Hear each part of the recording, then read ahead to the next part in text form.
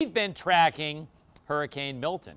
There's been another storm, though, that's developed, but it's going to have better impacts. For more on that, I'll send it back into Caitlin.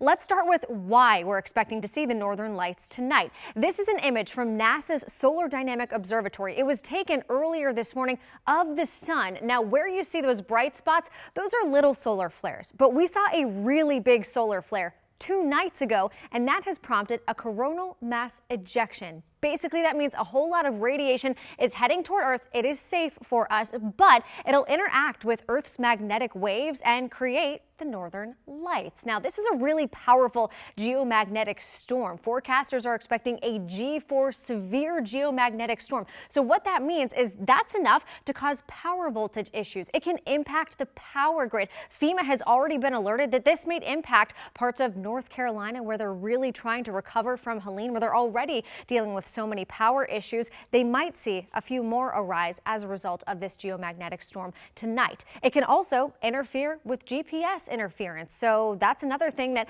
you probably won't realize or recognize, but it can happen. What you'll most likely be interested in are the northern lights. They're going to be visible across parts of the United States. Now, the farther north you are, the closer you are to the Canadian border, the better luck you'll have, of course, at seeing the northern lights. So even if we can't see them here at home, I think we'll see some fantastic photos but even through parts of New England over toward the Great Lakes and the Pacific Northwest, you should be able to see the northern lights with the naked eye. Now you see that yellow line draped right across the DMV. That's where we might be able to see the northern lights, likely only through a photograph. So your best bet for seeing them closer to home is getting your camera or your phone and taking a long exposure photo. Now, if you're not familiar with how to do that, let's walk through it. We'll start by dropping the light so we can mimic what it's like to take a picture whenever you have those nighttime conditions.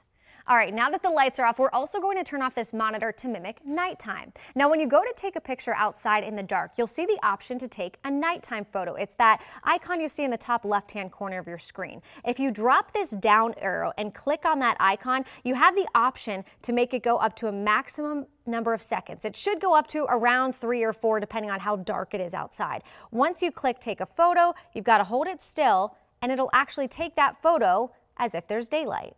Now, of course, if you have a nicer camera, you might be able to get some higher quality photos, but oftentimes your iPhone is enough. We have a lot more information on our app and website on the best time to potentially see the northern lights and why we see solar storms like this, so check it out. Back to you.